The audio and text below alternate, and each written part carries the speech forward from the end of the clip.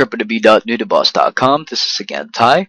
Uh, still, the video that I'm creating right now is a part of the video tutorial series on Adobe Audition CS6 for the tools and functions that might help you create uh, nice sounding audio edits or audio mixdowns for your projects maybe or for your clients.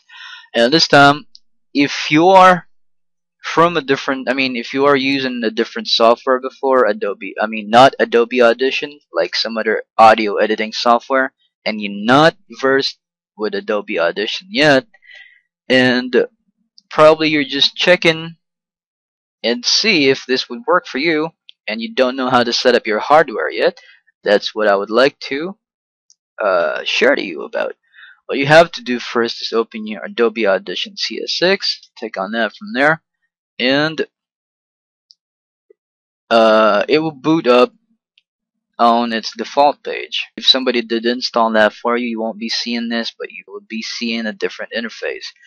Uh, from here, you'd want to use, uh, probably if you're using a mixer, if you're using uh, a different sound card, you, you could just follow. But right now, uh, to just let you know, what I'm just using is Realtek audio soundboard that's built in on an Acer notebook and just a Logitech headset but it's not going to say Logitech in there because it's not using the USB but it's connected to the I.O. port of the Realtek soundboard on the built-in Acer motherboard.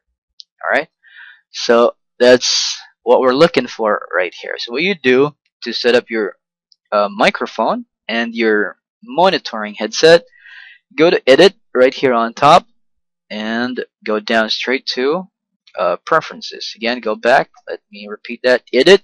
Straight down to preferences. Then down to something that says audio hardware.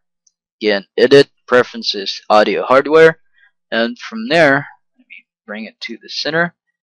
Make sure that your audio hardware right here. You got something that says uh, default input. Uh, so I was saying earlier, I'm using Realtek high def audio.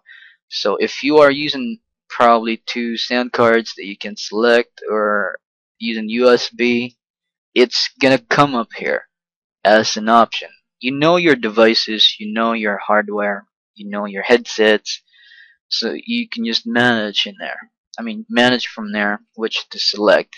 Alright?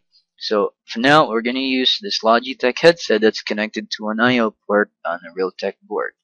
And default output the same. It's just a, a headset so it's connected through to that too. And you got basically just two um, microphone and default output. Again what you're just trying to set up here is for you to have a microphone and a monitoring headset. So you could monitor your audio edit and also you could do voice overlays or voiceover. Alright so let's test if it's gonna work now Click on OK. You just have to make sure it's really working by just pressing uh, the record button right there. Say record, test, audio. Oh, sorry. I always misspell words right there. Okay, and if you don't know how to do basic recordings yet, you can just check that out on the list of the videos that we have.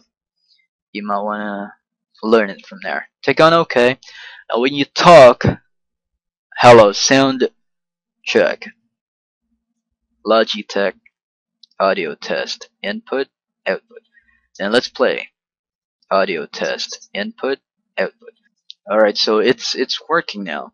It's in there. I have my monitor. I have my audio input, which is my microphone. If you are using a mixer, go back to edit right here. Go to preferences. Go to audio hardware probably you did use not your uh, microphone input, but you probably have an input for your sound card, like an external uh, auxiliary input on the sound card that you are probably using a desktop, right?